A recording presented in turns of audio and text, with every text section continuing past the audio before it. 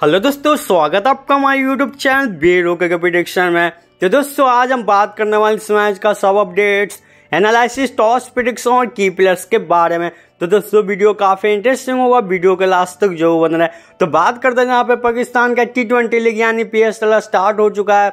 इसमें टोटल छह टीम्स आपस में खेल रही है। तो बात करते हैं टूर्नामेंट के दसवें मैच की, जो कि खेला जाएगा डिफेंडिंग चैंपियन लाहौर कलंदर और कराची किंग्स के बीच में। यह मैच चौबीस फरवरी को लाहौर के गद्दाफे स्टेडियम में खेला जाएगा।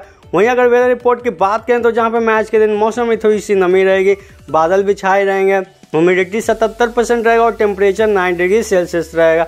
अब बात करते हैं कि विनिंग परसेंट देखते हैं जहाँ पे बैटिंग फ़र्स्ट का यहाँ पे इकसठ परसेंट जीतने का चांस है तो वहीं बॉलिंग फ़र्स्ट का यहाँ पे उनचालीस परसेंट जीतने का चांस है। अब बात करते हैं एवरेज स्कोर देखते हैं जहाँ पे फ़र्स्ट इनिंग का एवरेज स्कोर एक सौ अस्सी है, वहीं सेकेंड इनिंग का एवरेज स्कोर एक सौ तिरपन है। बात करते हैं दो टीमों का हेड टू हेड चेक करते हैं लास्ट टेन मैच के अकॉर्डिंग जहाँ पे लाहौर कलंदर तीन मैच जीत के आ रहे तो वहीं पे कराची किंग्स सात मैच जीत के आ रही।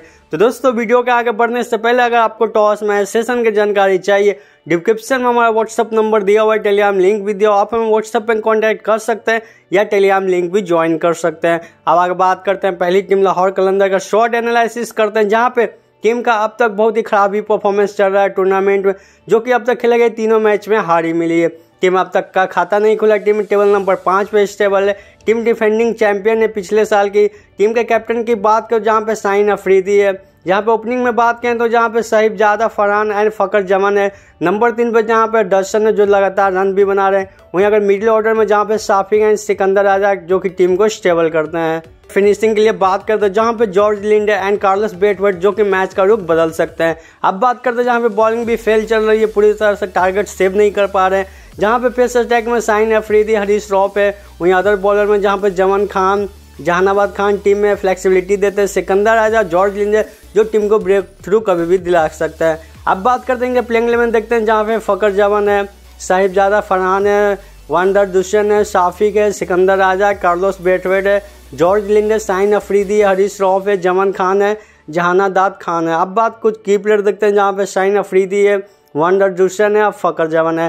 अब अगर बात करते हैं, दूसरी टीम कराची किंग्स का स्वाट एनालिसिस करते हैं। जहाँ पे टीम को पहले मैच में मुल्तान से हार मिली थी, अगले मैच में टीम ने पेशावर को सात विकेट से हरा दिया। टीम अब तक दो मैच खेल कर जिसमें से एक मैच हार के आ रहे हो एक मैच जीत के आ रहे हैं टीम टेबल नंबर चार पे स्टेबल है। टीम के कैप्टन की बात कर दो जहाँ पे शान मसूद है, जो कि टीम टॉप ऑर्डर में मसूद मोहम्मद अकबल है।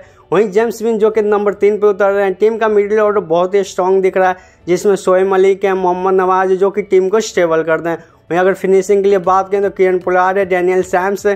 पुलार ने लास्ट गेम में इक्कीस बॉल में उनचास रन बनाए। तो अगर बॉलिंग यूनिट में बात करें तो टीम समय पे ब्रेक थ्रू दिलाने के लिए मीर हमजा हसन अली जैसे बॉलर्स पे डिपेंड हो गई। दोनों ने लास्ट गेम में तीन तीन विकेट निकाले थे। वहीं अगर स्पिन डिपार्टमेंट जहाँ पे तवेज शमसी एंड मोहम्मद नवाज़ जो डैनियल सैम्स भी विकेट ले रहे हैं। बात करते हैं इनके प्लेइंग इलेवन देखते हैं जहाँ पे शान मशहूर है, जो कि कैप्टन है। जैम्स मीन्स है, मोहम्मद अकबल है किरण पोलाड शोएब मलिक है डैनियल सैम्स है, मोहम्मद नवाज़ है, तबीयत सैमसी इरफान खान है, हसन अली है, मीर हमजा कुछ की प्लेयर की बात कर दो जहाँ पे किरण पोलाड है। जेम्स विंस है हसन इल है। तो फाइनली दोस्तों, हमने हर एक चीज़ पे डिस्कशन कर लिया। अब अगर बढ़ते चलते विनर की हो तो हमारे अकॉर्डिंग आज का मैच विनर यहाँ पे कराची किंग्स होगा। क्योंकि कराची किंग्स की टीम काफ़ी अच्छी चल रही है। रिसेंटली मैच में भी काफ़ी अच्छा परफॉर्मेंस देखने को मिला। तो यहाँ पे लाहौर कलंदर को हार मिल सकती है। तो ऐसे इंटरेस्टिंग वीडियो के लिए हमारे चैनल के साथ बना रहे। हमारे चैनल को लाइक एंड सब्सक्राइब ज़रूर करें। कमेंट में बताएँ कि हमारा वीडियो कैसा लगा। ओके दोस्तों, मिलते हैं नेक्स्ट अपडेट के साथ।